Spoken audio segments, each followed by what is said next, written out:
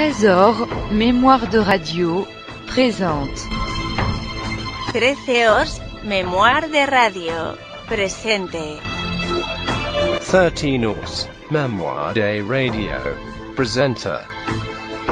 13 Os, Memoire de Radio, Presente.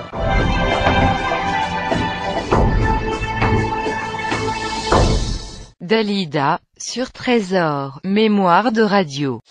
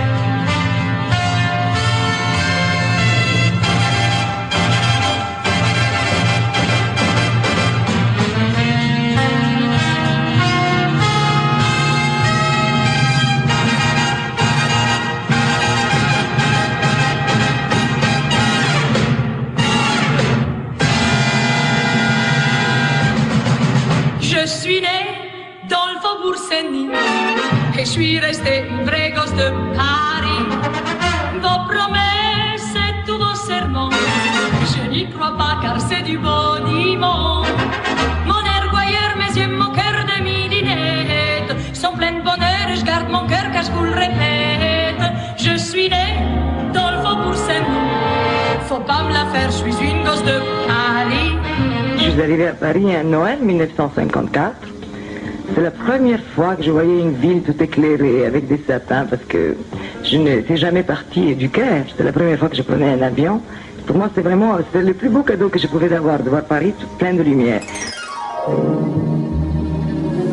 J'avais toujours rêvé, étant enfant en Égypte, c'était de, de chanter à Paris, parce que je me disais que Paris, si on réussissait à Paris, on réussirait un peu partout dans le monde. C'est pour ça que j'avais choisi Paris, et je remercie le public et tout le monde, enfin, qui a fait de moi ce que je suis. La jeune Dalida ne s'y est pas trompée quand, quittant seule le Caire en 1954, elle a pensé que c'était à Paris que se jouerait sa destinée. Une carrière incroyable de plus de 30 ans l'y attendait. Envoûtée par cette ville qui lui a tout donné, Dalida a aussi laissé son empreinte dans la capitale, et certains quartiers résonnent encore de ses pas. Et au commencement, il y eut la Villa d'Est.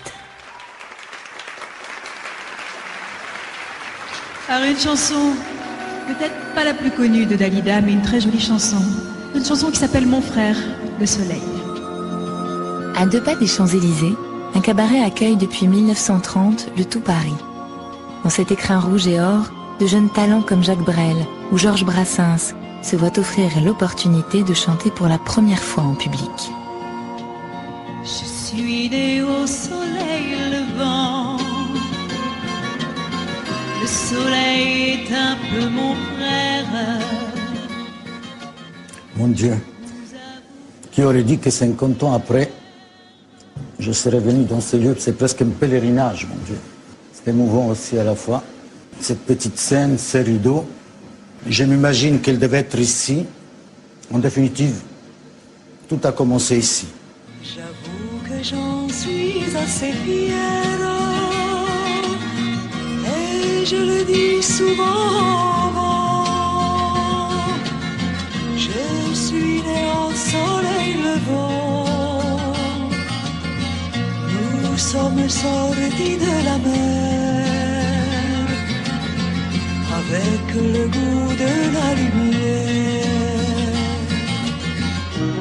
Elle avait toujours rêvé de devenir quelqu'un, Dalida. Toujours, c'était son rêve depuis petite. D'ailleurs, avec ce sens du spectacle, elle disait toujours Un jour, je vous montrerai ce que je deviendrai. Même s'il avait démarré après son concours de Miss Égypte, qu'elle avait tourné deux, trois films en Égypte, même s'il avait déjà un certain succès, elle voulait le succès international. Et elle voulait, savait que pour faire carrière, il fallait qu'elle parte, qu'elle aille ailleurs. Et ailleurs, pour elle, ça a été Paris. C'est l'histoire d'un amour éternel et banal. Un Paris éblouissant qu'elle découvre au gré de longues promenades à travers la ville. Un Paris lumineux et plein d'espoir, à l'image des rêves qu'elle nourrit en regardant le ciel, à travers la petite lucarne de sa chambre sous les toits. Un peu comme son voisin de palier. J'ai logé dans un hôtel de la rue Mermoz où il y avait Alain Delon. Il avait la chambre juste à côté de la mienne. Alors lui, c'est extraordinaire parce qu'il m'a suivi un peu partout. Après, j'habitais la rue de Pontieux, il était aussi rue de Pontieux. Mais on ne se connaissait pas. Simplement, on se disait bonjour et bonsoir parce qu'on se voyait tout le temps dans les escaliers. Quand je suis arrivée, enfin, je n'avais pas beaucoup d'argent, alors je, je, demandais à travailler. J'étais, je sais pas pourquoi, ils m'ont, ils m'ont accepté dans des cabarets. Je savais pas du tout chanter. Parce que c'est belle. Parce qu'à Paris, on aime les jolies femmes. Vous êtes gentille. Mais c'est vrai. Dalida a chanté pratiquement toute l'année 55 ici à la Villa. En plus, elle a eu la chance à ce moment-là de côtoyer tous les, tous les vedettes. Monsieur Aznavour, Juliette Gréco, Beko, tout le monde était passé ici. Et il y avait, à l'époque, c'était formidable parce que ça donnait la chance à des jeunes qui commençaient d'avoir une première partie et de pouvoir s'exprimer. J'ai chanté à la Villa d'Est et au Drador pour la première fois, puis je, je dis que c'était pas bon du tout, il fallait que j'apprenne à chanter. Avec l'argent que j'avais gagné, j'étais chez un professeur, j'ai pris des leçons de chant. Ces leçons de chant, Dalida les prend avec Roland Berger, un professeur aussi colérique et exigeant qu'elle, qui la bouscule, la pousse à libérer sa propre personnalité pour la mettre au service de la chanson. Elle dira plus tard qu'il a été le seul à lui apprendre quelque chose. La fille que j'ai connue était une fille très, très enthousiaste, très brune, magnifiquement roulée, comme on dit, splendide, pleine d'un tempérament. aujourd'hui. Pleine d'un tempérament ardent. Et effectivement, tu m'as plu parce que c'était comme une espèce de rayon de soleil qui arrivait chez moi. Et ça, c'était déjà la première Dalida qui m'avait déjà fait pressentir que toi, tu deviendrais une vedette.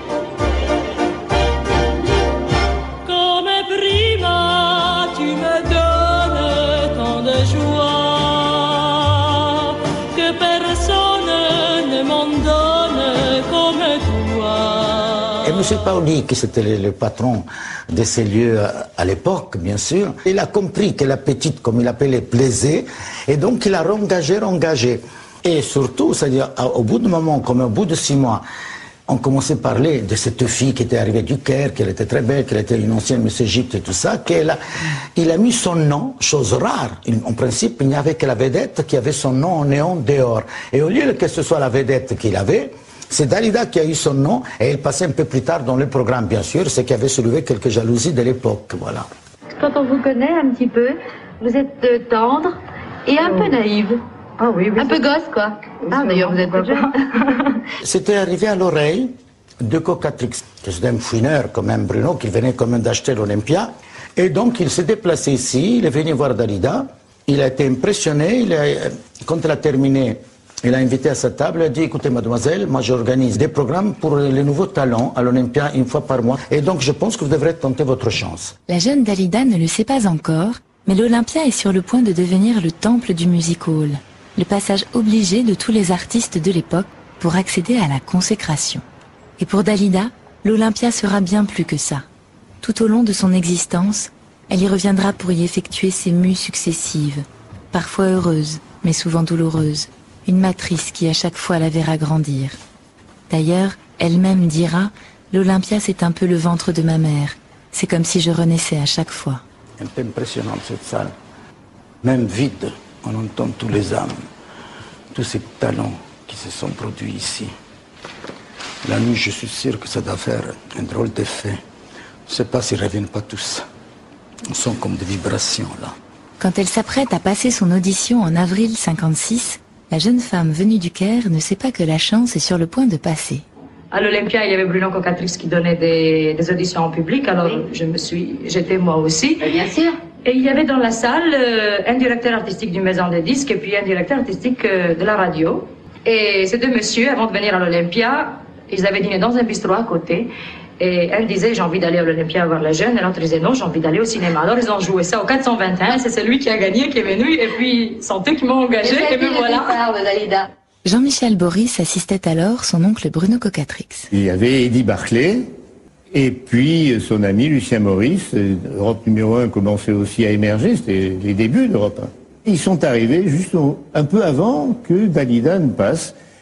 Et je dois dire que la prestation de Dalida les a impressionnés. Parce que c'est vrai qu'elle était, somptueuse, elle était belle, elle avait une voix, elle avait une personnalité. À la fin, ils se sont précipités vers elle, ils ont été la voir, et puis euh, je pense que le contrat a dû se faire dans les, semaines à venir.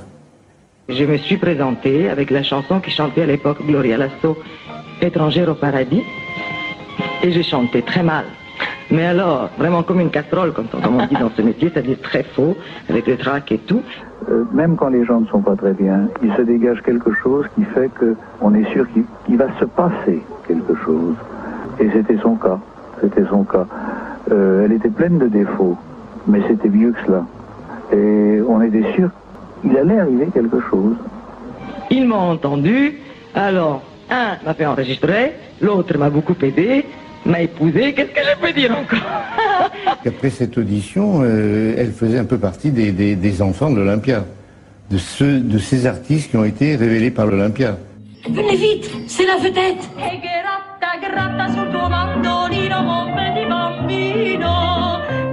La carrière de Dalida est lancée et son histoire avec l'Olympia ne fait que commencer. L'année de cette audition, en 1956, elle enregistre deux disques avant d'exploser avec Bambino, grâce auquel elle obtiendra le premier disque d'or décerné à une femme. Une aube qui préfigure les mille chansons en sept langues différentes qu'elle enregistrera par la suite. Avec Lucien Maurice, elle enchaîne les tubes et les galas, les tournées et les nuits blanches, partage son goût pour le succès, mais aussi l'amour. À l'Olympia qu'il a vu naître à la chanson, elle fait les premières parties des spectacles de Charles Aznavour et Gilbert Bécaud. Et dès 1961, il fait son premier spectacle en vedette. Elle y viendra 18 fois au cours de sa vie et y tiendra parfois l'affiche jusqu'à 5 semaines. Mais dès ce premier spectacle, Dalida apprend que rien n'est jamais gagné dans cette salle, dont le public exigeant se plaît à faire ou défaire les artistes. Elle vient de quitter Lucien Maurice et le tout Paris crie au scandale et se demande si elle pourra continuer à chanter sans lui. Elle a choisi juste ce moment, quand elle avait tout le monde contre elle à cause de son divorce, de faire l'Olympia en vedette. Et voilà, donc tout le monde, la presse s'est fait donner à cœur joie, les médias, c'est fini, Dalida est fini, Dalida son Lucien n'est rien, on va assister à la mort du taureau et tout ça. Et le jour de la première, il y avait toutes les radios qui étaient là et qui demandaient au public qui rentrait, est-ce que vous êtes pour ou contre Dalida? Et avant que je rentre sur scène, j'ai reçu une couronne de mort, mortuaire, qui avait écrit dessus à la chanson de Fund, Vive Edith Piaf. À ce moment-là, on m'avait accusé de mener une cabale contre elle.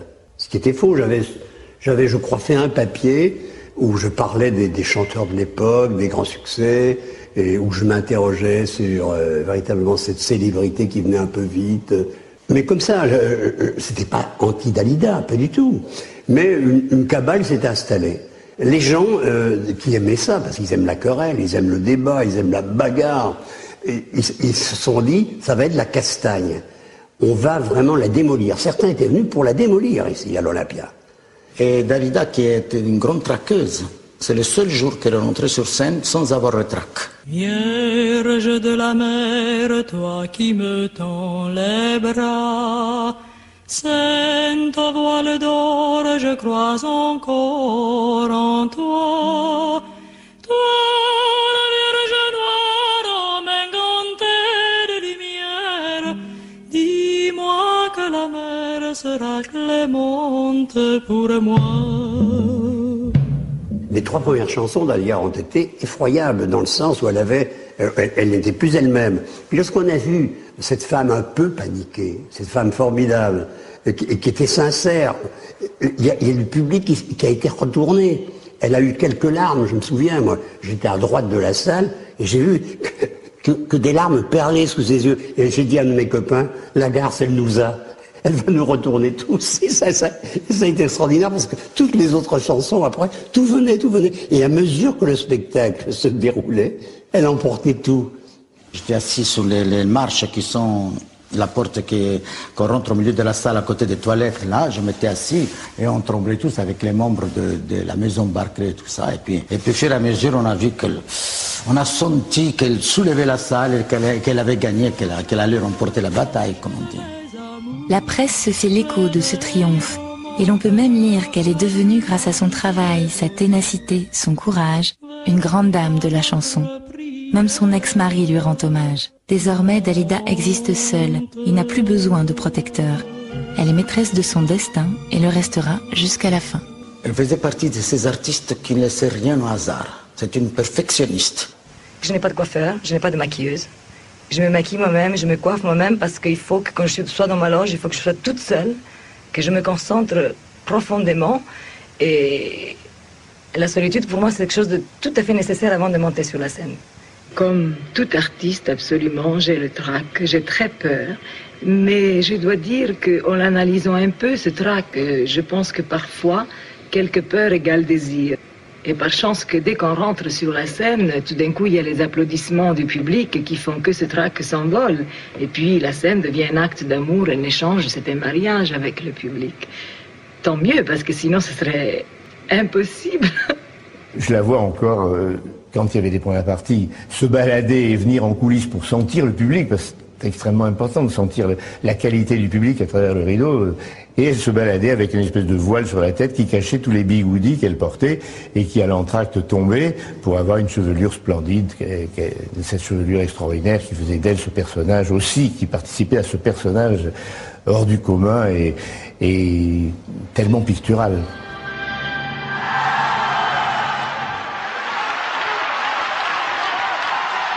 Le souvenir que j'ai de ma tante, c'est qu'en en 77, je vois, euh, je la vois en train de chanter. je suis au fond de la salle, assis sur un strapontin. Et au début d'une chanson, elle fait s'arrêter la chanson. Et je suis vraiment au fond de la salle et je vois une petite bonne femme comme ça, debout, euh, en train de s'excuser auprès du public et de dire bon, écoutez, je, m'excuse. Et puis elle, euh, elle s'engueule pratiquement avec ses musiciens devant une salle comble, vraiment pleine à craquer où on entend, j'entends les mouches voler, moi je me dis, oh là là, c'est ma tante. Et là, elle chante J'attendrai. À la fin de la chanson, c'est un tonnerre d'applaudissements. Le souvenir que j'ai après, quand elle me fait la morale et quand je suis face à elle, c'est ça. C'est-à-dire, euh, c'est ma tante, oui, mais on est aussi devant Dalida, on bouge pas. Je vais vous raconter, avant de vous quitter, l'histoire d'un petit village près de Napoli.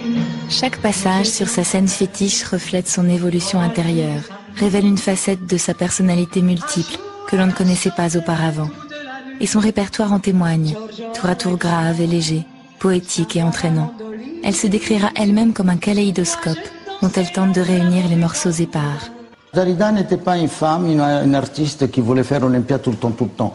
Elle venait à l'Olympia quand elle avait quelque chose à dire ou remettre les pendules à l'heure.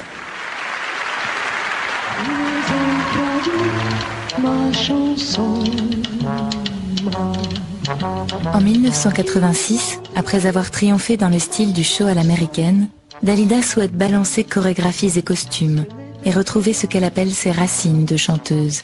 Elle seule avec ses belles chansons de scène, face à son public de l'Olympia, celui de ses débuts. Mais elle mettra fin à ses jours sans avoir pu donner ce dernier spectacle.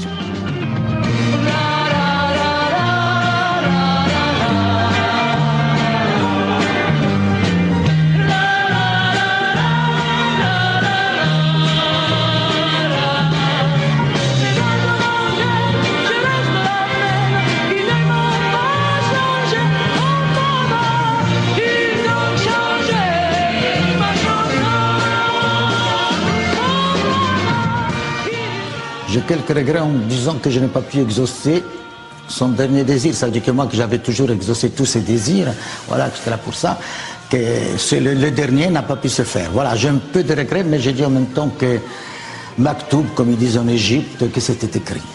Ça ne devait pas se faire.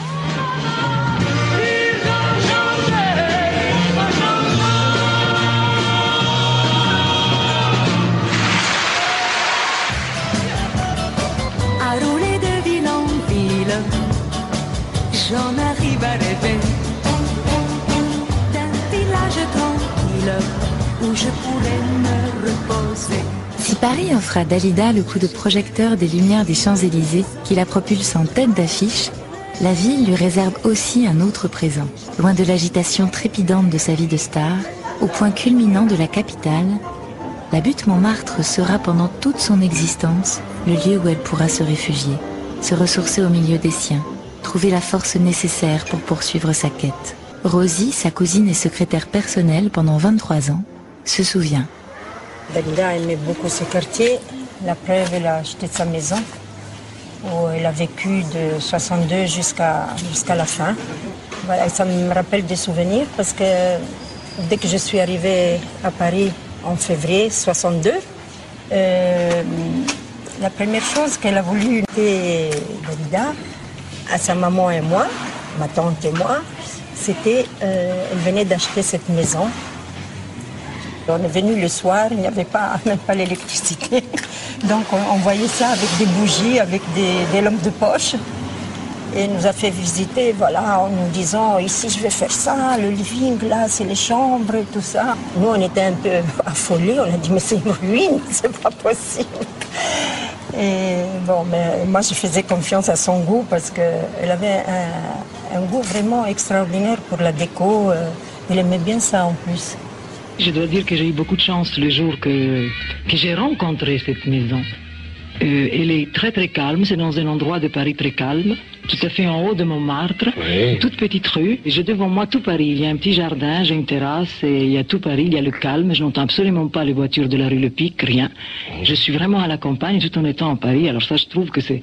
J'ai eu beaucoup de chance de trouver une maison comme ça. Je t'ai cherché depuis longtemps. Tu sais, je t'ai rêvé. J'aime lire, j'aime écouter de la musique. Je suis très pantouflarde, je ne sors pas beaucoup. J'aime bien rester chez moi. C'était une femme d'intérieur extraordinaire. On peut ne pas y croire, mais je peux vous garantir. Elle aimait beaucoup la maison. Même ses placards, vous savez, elle mettait en ordre ses placards. J'aime aller faire mon marché de temps en temps, pas toujours, hein.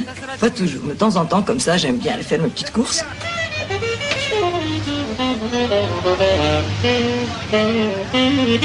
Quand elle voyageait après des tournées et tout ça, elle ne voyait pas. euh, elle disait il faut que je rentre dans ma chaussette. C'est. euh, vraiment, elle était bien heureuse de, rentrer chez elle. C'est là qu'elle se sentait, euh, euh, elle était assurée, elle était en sécurité, quoi.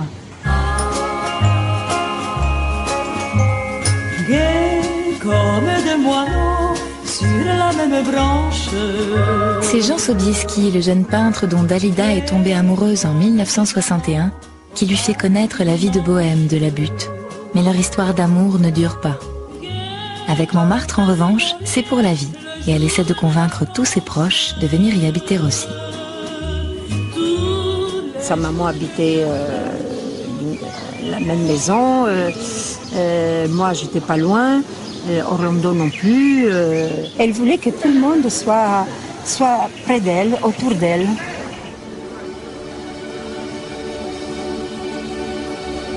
Certains soirs de mélancolie, quand le brouillard est sur Paris, je vais retrouver quelque part une Italie qui fume tant. Si Dalida n'aime pas beaucoup sortir, il y a néanmoins une exception à deux pas de chez elle. Le restaurant mythique du Moulin de la Galette, tenu par un de ses amis, Graziano.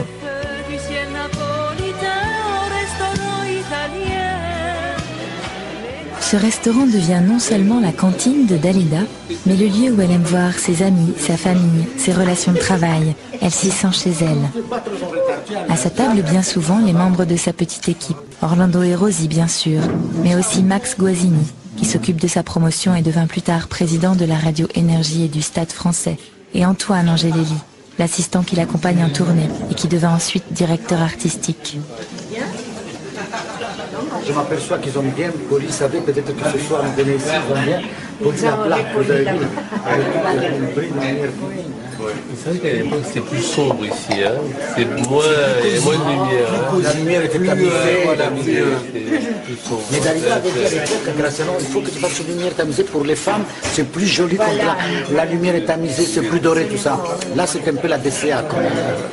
Je crois que Dalida a lancé un petit peu euh, cet endroit. euh, Il y avait un peu tout Paris, euh, Johnny Hallyday, toutes les stars. Bon, Anouk Aimé, bien sûr, qui, qui dînait souvent en tête à tête avec Dalida.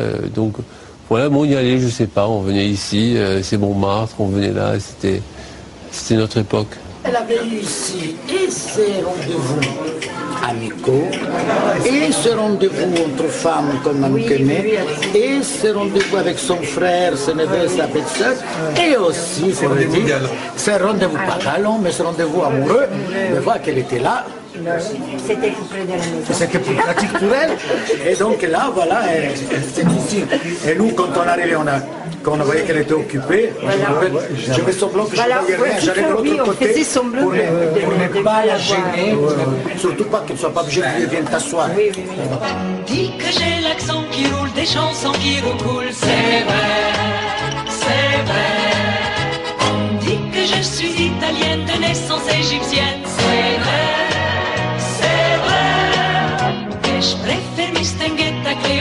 Cléopâtre, Ménil, Montant, au Cap du Vin.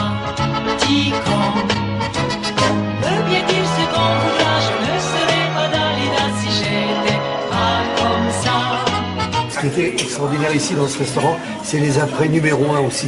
Quand on venait parler de ce qui, comme on avait trouvé chacun, de nous, on- comment on trouvait l'émission, toutes les grandes émissions, on, on- on se retrouvait tous ici. Ici, elle préférait pourquoi? Parce qu'elle était à deux pas de chez elle, parce qu'après, quand elle avait bu un peu de vin, parce qu'elle adore les Bordeaux, hein, tu te rappelles hein. Elle adorait le rouge. Après le travail, elle aimait bien ces deux, trois verres de Bordeaux. Elle était à deux pas tout de suite pour se boucher. Elle n'avait que traverser la rue et c'est Graziano qui l'accompagnait. Oui. Toujours, toujours. Les enfants, je vous laisse. hein. Les enfants, je vous laisse. Je suis fatigué. Et Graziano, Graziano. Et puis elle l'appelait, puis elle l'accompagnait. C'est vrai. Graziano, c'était comme son frère, vous savez. Et Dalida, de temps en temps, il venait ici, quand ça allait ou quand ça n'allait pas, elle prenait Graziano, fais-moi les cartes. C'est pas qu'il y croyait tellement, mais ça l'amusait. Alors Graziano lui faisait les cartes, il dit les choses, oui, ça, ça va aller, ça, ça va aller, surtout quand il était amoureux, il voulait savoir si quelque chose allait très bien. Sur le travail, il ne demandait pas, c'était surtout sur la vie privée. Et voilà, donc de temps en temps, s'il faisait des dîners seulement avec Graziano, parce qu'elle avait des choses qu'elle ne voulait pas que la famille ou que les amis écoutent, et qu'elle avait besoin de se confier, comme- c'était presque un complice pour elle. Nous échangeons des colliers de promesses, nous échangeons des anneaux d'or, des rivières et des diamants de jeunesse. Et la politique ici à l'étable, on sautait entre Dalida et son frère aîné, mon frère aîné, que lui il était contre. Faut dire la vérité. Dalida et moi, on était pour Mitterrand par amitié, parce que voilà, pas appartement pour l'idéologie, pour le dire, mais par amitié. Et mon frère était complètement gaulliste. On était tous gaullistes. Et il s'attrapait. Mon frère n'avait pas voulu dîner à la table ici. Il a dîné ici avec ses enfants et il s'attrapait d'ailleurs.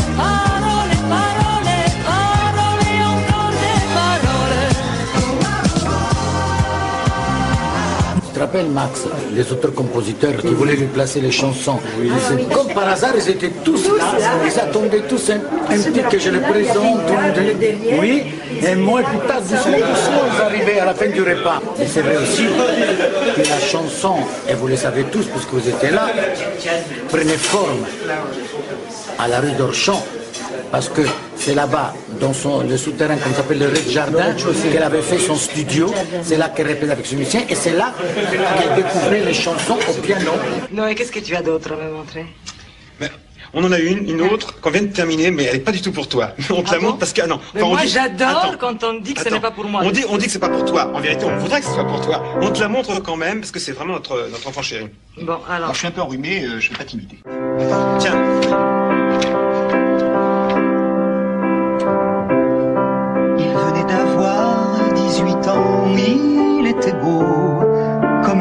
Fort comme un homme. C'était l'été, évidemment, et j'ai compté en le voyant mes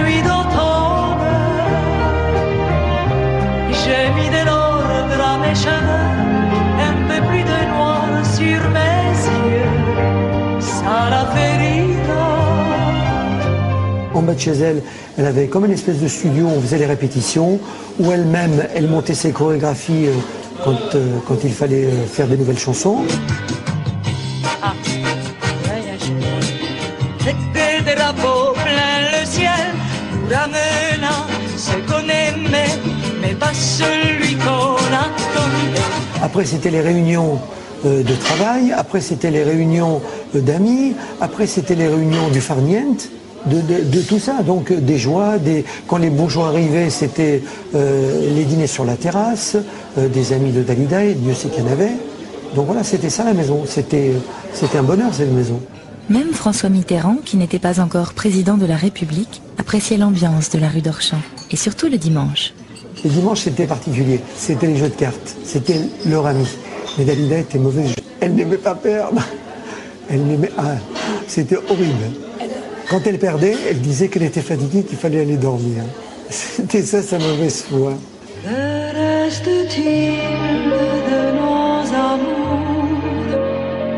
reste-t-il de ces beaux Mais il n'y a pas que des moments de joie dans cette maison. Ces grilles se ferment sur Dalida quand, en 1967, le chanteur italien Luigi Tenco met brutalement fin à ses jours, quelques mois à peine après leur rencontre. Elle tente de le rejoindre, mais revient à la vie après cinq jours de coma. Elle mettra plusieurs années à s'en remettre. Je n'avais jamais pensé à la mort. Même quand mon père il était mort, cela ne m'avait pas du tout frappé. Et je n'avais plus du tout pensé à la mort. Et puis tout d'un coup, je me suis trouvée un jour devant la mort, mais devant un suicidé. Alors c'est et en plus cette personne, je l'aimais. Et je n'ai plus senti la force vraiment de vivre, absolument pas. Je crois, enfin, je suis restée trois ans chez moi, dans ma maison. Je ne suis sortie que pour travailler. Et pendant ces trois ans, j'essayais de me comprendre, de me connaître, de savoir qui j'étais. Et je me suis intéressée enfin à tous ces problèmes que l'on peut appeler de métaphysique.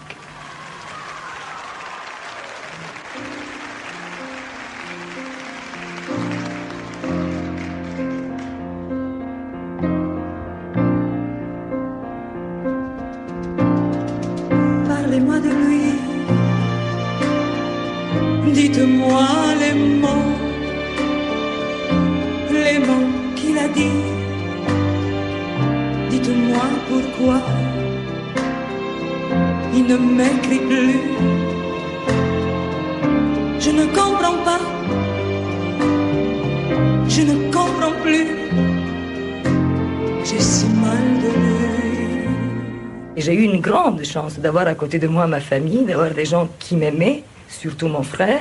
Ça, c'est une grande chance que j'ai parce que je crois qu'un artiste, quand il est seul, et quand il n'y a personne à côté de lui qui est, dont il a confiance et qui l'aime, c'est terrible. Ce long voyage est fini, je me retrouve au pays. C'est d'un pas léger que je me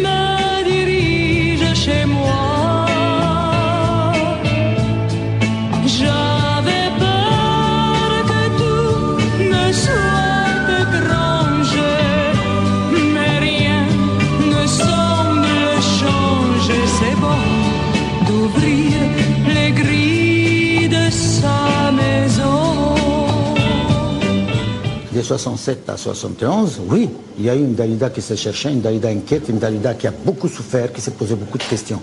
Mais après, une fois qu'elle avait compris, une fois qu'elle est revenue à la vie, on a retrouvé la Dalida extraordinaire, la Dalida qui a fait rêver des millions et millions de gens. C'est pendant ces 20 années qui a séparé le premier suicide au dernier qu'elle a fait le plus grand de choses de sa vie, de sa carrière, de sa beauté, de- des robes et tout ça. de- de- la- L'évolution de l'artiste a été fantastique. Voilà, donc c'est ouais, Dalida comme vraiment qu'on a envie de garder en mémoire et se rappeler.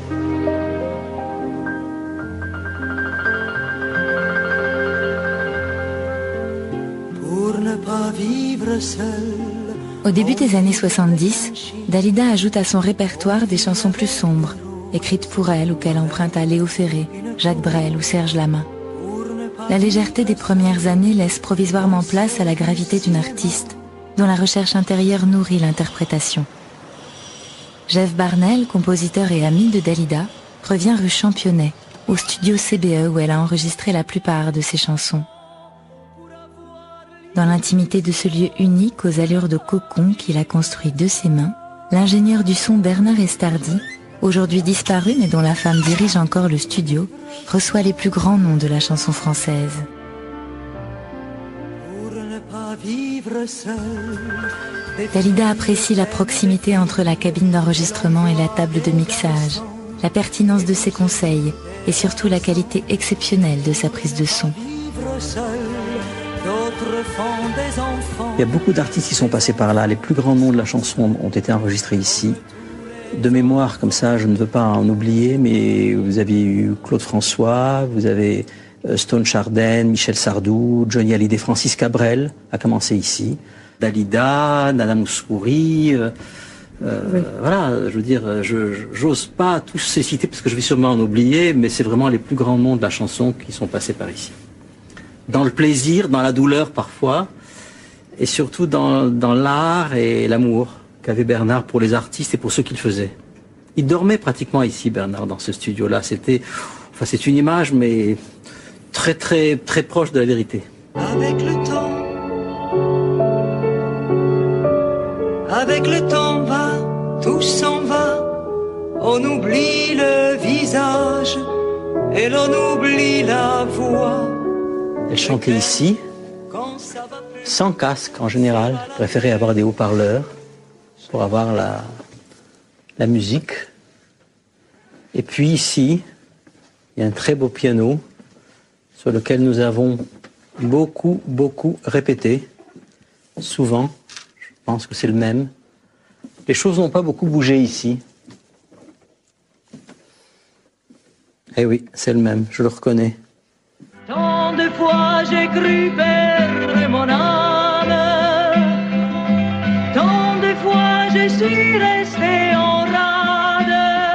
Au milieu des années 70, Dalida laisse éclater sa joie de vivre retrouvée au bras de son compagnon Richard Chanfray en s'ouvrant à un nouveau registre, porté par des auteurs-compositeurs comme Jeff Barnell, Michaele ou Lana et Paul Sébastien.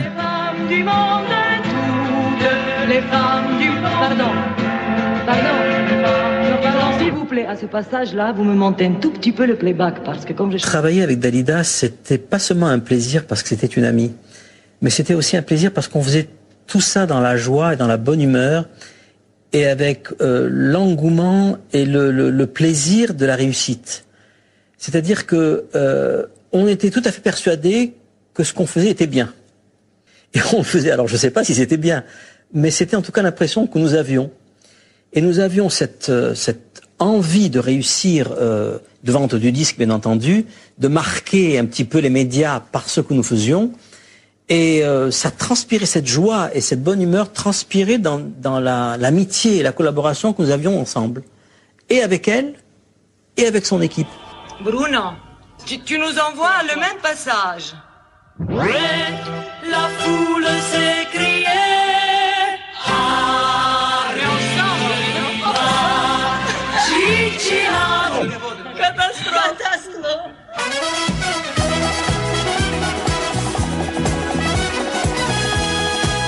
Studio CBE voit ainsi la chanteuse devenir la reine du disco avant le disco, avec la reprise de J'attendrai, la chanson des années 40 de Rina Ketty. La reine du rail avant le rail, avec Salma Salama. La reine des émissions de télé et des shows à l'américaine, où elle dévoile un corps aminci et fait pour la danse.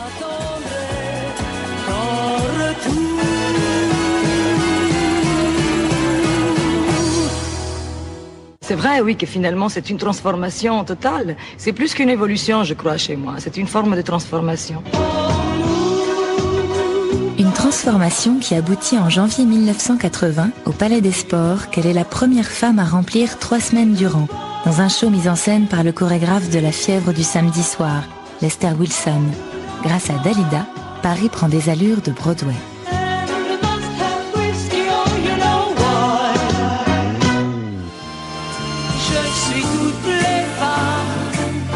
J'aime les paillettes, les strass, les télégrammes.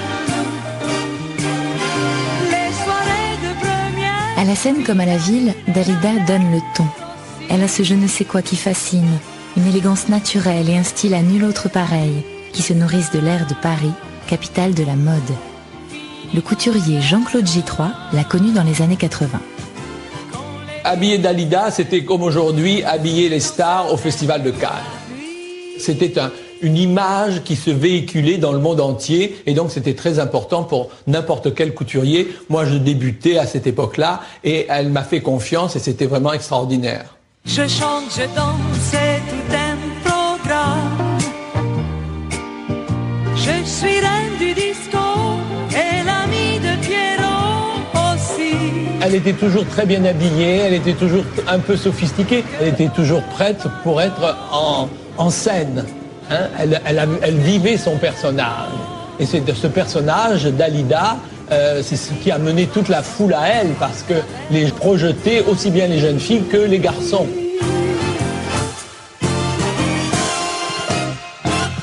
Dalida, si je ferais un jeu de mots, elle était la mode. Elle a incarné la mode. D'ailleurs, euh, toutes les femmes euh, se sont beaucoup inspirées des robes de Dalida. Quand Dalida passait à la télévision, on savait qu'un quart de son public était là surtout pour voir les robes aussi.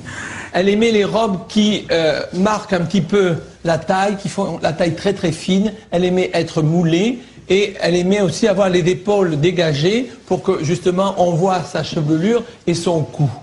Elle aimait bien les dos nus aussi, voilà. Et elle, euh, elle aimait que ça soit facile si on pouvait descendre une épaule, parce qu'elle avait le côté très sexy, très, glamour, dont, on parle aujourd'hui, ce côté glamour qu'elle a inventé. En fait, elle a presque inventé le mot glamour. Elle sentait exactement ce qu'il fallait mettre au bon moment. Et c'est ça son génie, c'est qu'elle savait au bon moment ce que les gens voulaient et elle le portait. Et donc après, toutes les autres filles suivaient derrière, bien sûr. Dans les années 60, il y avait toutes les filles euh, qui se maquillaient comme elle, vous savez, avec le crayon énorme, avec des yeux énormes, les cheveux longs, euh, euh, à la Dalida, quoi. Elle aime jouer avec ses cheveux, elle sait qu'elle a une très belle chevelure, et c'est vraiment sa coiffure qui est un peu sa, marque de fabrique, en quelque sorte. Elle s'est jamais fait couper les cheveux très très courts, elle n'a pas, pas joué ce, ce thème-là. Moi, je vis d'amour et de danse, je vis comme si j'étais en vacances, je vis. Les cheveux, les jambes, les mains, je crois qu'elle fait très attention à son image. Elle sait qu'elle a la stature. Il ne faut pas oublier qu'elle a eu quand même un prix de beauté euh, au tout début de sa carrière. À son corps aussi, Dalida fait suivre l'air du temps et la longue chanteuse blonde est bien loin de la jeune fille qui remporte le concours de Miss Égypte en 1954 et dont les formes généreuses rappellent les stars de l'époque, comme Sophia Loren ou Brigitte Bardot. Il y avait du monde du balcon, comme on dit. Et voilà, donc Dalida faisait partie de ce genre de femmes. Et puis avec le temps, vous savez, doucement, doucement, avec l'évolution de la société, des nouvelles jeunes filles, de nouvelles idoles et tout ça, et il s'est affiné, Dalida aussi, il a perdu du poids, du poids, du poids. Elle est arrivée à perdre jusqu'à 12 kilos. Plus fine, l'orchidée noire achève sa transformation en devenant blonde dès les années 60. Et, et ce miracle, c'est que, en même temps qu'elle devenait blonde, en même temps, sa peau s'est harmonisée en même temps, le visage, les traits, son maquillage, qui est devenu beaucoup plus léger, plus épuré, disons, moins de, crayons noirs et tout ça, plus d'ombre, a fait qu'elle est devenue une très belle blonde, une blonde vénitienne quand même, pas une blonde platinée. Tous les couturiers souhaitent habiller Dalida, mais certains comptent plus que d'autres.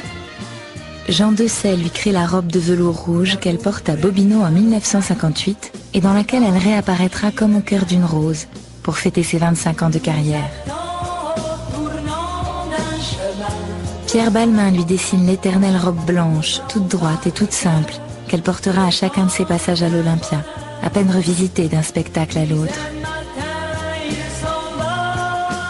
Dommage qu'on n'ait pas la, broderie encore, mais vraiment le temps de la broder. Alors il y a une chose qui est divine avec Dalida, nest C'est comme elle a des cheveux tellement merveilleux, on voit plus rien. on voit plus rien de la robe. C'est la plus grande. Oui, mais vous ne pouvez pas pour le récital, mon ange. Laurie Sazzaro lui offre les robes fourreaux, fendues haut sur la cuisse qui sublime son corps de sirène. Michel Freinet réalise les tenues spectaculaires de son show au Palais des Sports et des émissions télévisées des Carpentiers et Jean-Claude G3 crée ses tenues de cuir des années 80. Une féerie vestimentaire que viennent aussi illuminer, le temps d'une soirée ou davantage, Christian Dior, Nina Ricci, Givenchy, Yves Saint-Laurent et tant d'autres couturiers dont Alida aura été l'ambassadrice éclatante à travers le monde. Il y a des gens qu'on aimerait connaître, qui ont des yeux qu'on dise longs, comment rentrer en communion. Au seuil de la cinquantaine, Dalida est toujours en haut de l'affiche, brillant de mille feux. Mais à force de tutoyer les étoiles, elle n'a plus l'espace ni l'énergie pour laisser simplement s'exprimer l'autre rive de sa conscience. Ce jardin intime qu'elle a découvert et n'a cessé de cultiver depuis son premier désespoir en 1967. Pour la femme en quête d'amour et de relations simples, Paris se teinte de mélancolie. Et le cinéma et le théâtre l'attirent comme la dernière tentative pour lier les deux rives. Dominique Besnéard, qui était alors agent de comédien, l'a rencontré à ce moment-là. Elle est venue à pied ici au théâtre à la première d'une pièce qui s'appelait Adriana Monti. Et à l'époque, j'étais un tout jeune agent et c'était mon projet. Elle était venue soutenir Nathalie Baye et euh, j'avais trouvé ça très sympathique. Je regrette de ne pas être allé assez avec elle.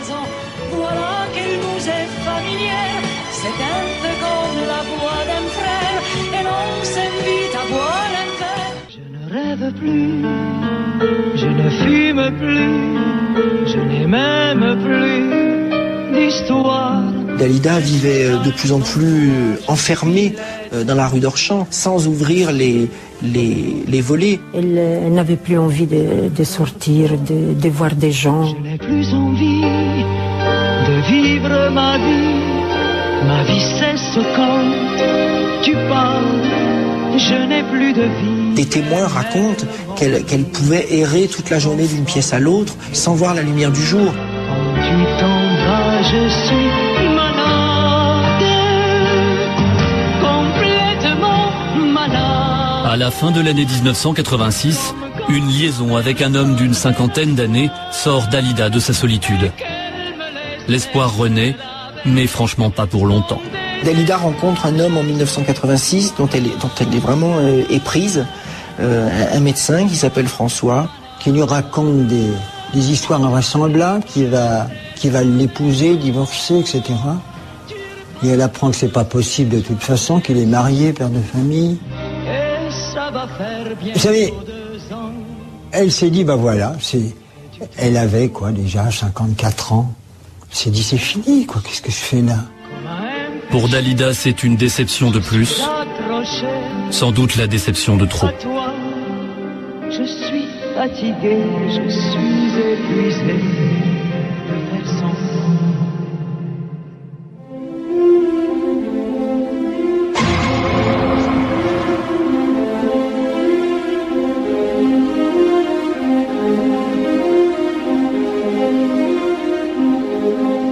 Dalida a choisi de mourir le soir du 2 mai 1987. Comme elle l'avait déjà fait 20 ans plus tôt, elle a minutieusement planifié son suicide. Elle a menti sur son emploi du temps, à son entourage et à sa femme de chambre. Elle a dit qu'elle allait voir un spectacle. Elle a dit à sa femme de chambre que, euh, de sortir. Et elle l'a accompagnée chez des amis pour être sûr qu'elle soit pas là. Pour rester seule chez elle, le temps qu'on ne puisse pas la retrouver vivante. Voilà.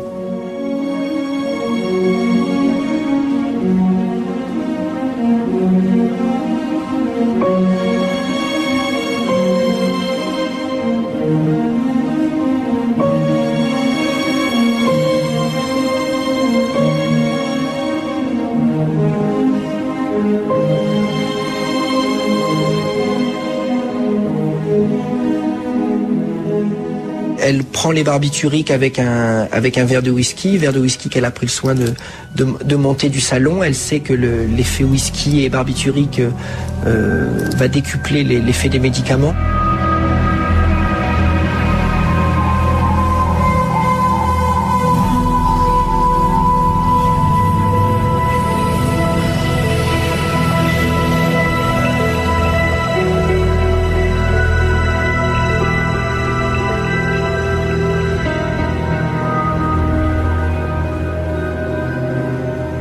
Et puis elle, elle, s'a- elle s'allonge sur, sur son lit, les cheveux en couronne autour de son visage.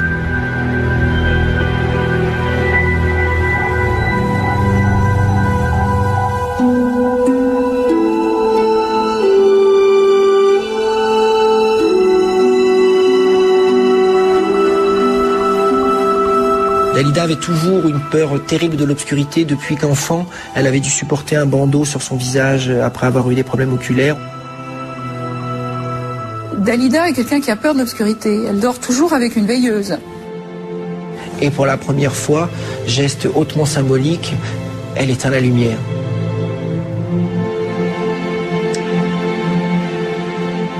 Là, c'est vraiment la, la fin du voyage.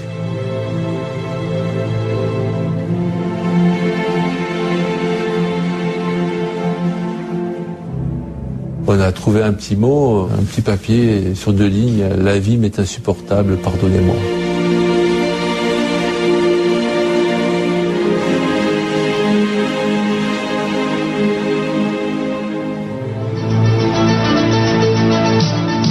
Mesdames et messieurs, bonsoir. C'est en début de soirée que nous avons appris le décès de Dalida. La chanteuse, âgée de 54 ans, a été trouvée dans sa maison de Montmartre, à Paris, ce dimanche après-midi. Elle s'est suicidée au barbiturique. Elle était très seule en ce moment. Elle était très seule. Je sais pas, j'ai l'impression que... Bon, la solitude, c'est un peu le fait des grands artistes, mais enfin, c'était une solitude un peu exagérée. Et ce sont les voisins non plus qui ne comprennent pas. Ce qui revient le plus souvent, c'est elle était gentille, elle était si gentille, Dalida. Tout à l'heure, dans la foule, un prénom a été murmuré. Marilyn, Marilyn, elle est morte comme Marilyn. Par autorisation spéciale, la messe des funérailles de Dalida a été dite à la Madeleine. L'église Saint-Jean de Montmartre aurait certainement été trop petite pour accueillir la foule.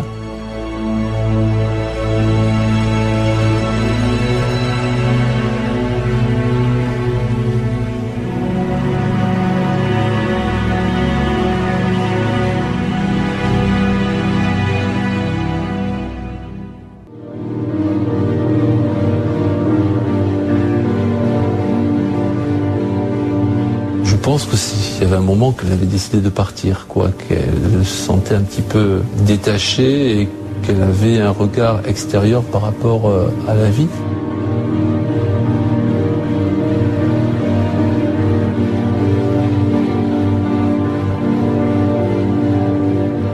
Est-ce qu'elle était usée? Est-ce qu'elle était fatiguée? Est-ce qu'elle était Est-ce que ça devait être Est-ce que c'est le destin?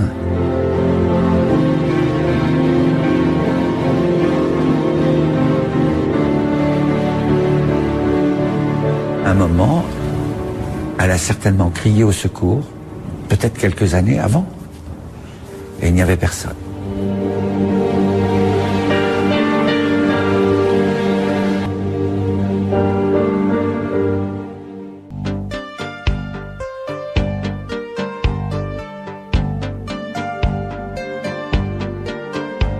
J'ai traversé des nuits et des jours sans sommeil pour en arriver là.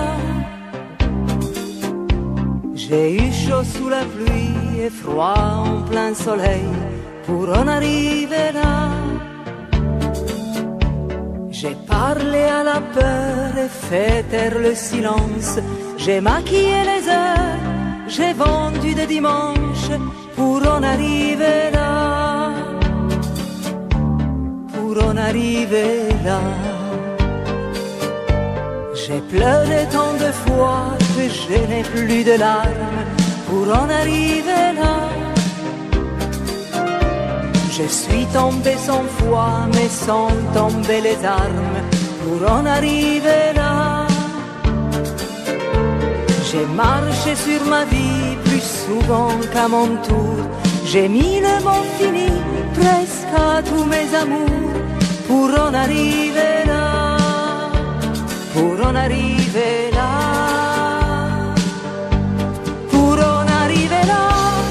Trop douté de tout, de moi, de Dieu, de vous. J'ai laissé derrière moi tous mes rêves d'enfance. Aujourd'hui, j'ai le cœur presque en état d'urgence.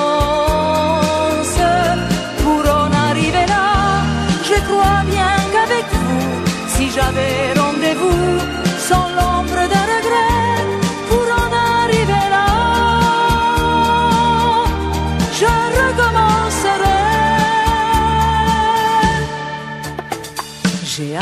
à hurler juste en dedans de moi pour en arriver là, pour ne pas vous montrer qu'on me montre du doigt pour en arriver là. J'ai fait le tour du monde, mais je n'ai rien pu voir. L'absence si profonde qu'elle salit mes miroirs pour en arriver là. Pour en arriver là. Pour en arriver là, j'ai trop douté de tout, de moi, de Dieu, de vous. J'ai laissé derrière moi tous mes rêves d'enfance. Aujourd'hui, j'ai le cœur presque en état d'urgence.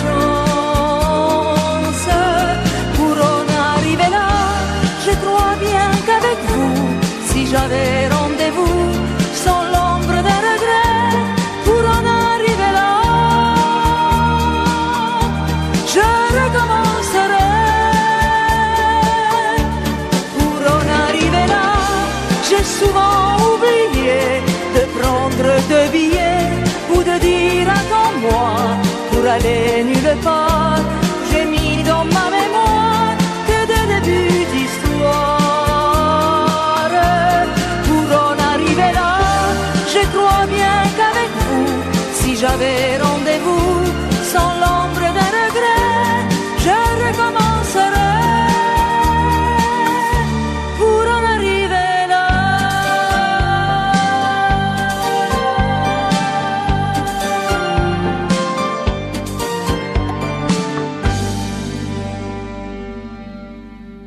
Grand merci, Dalida, sur Trésor, mémoire de radio.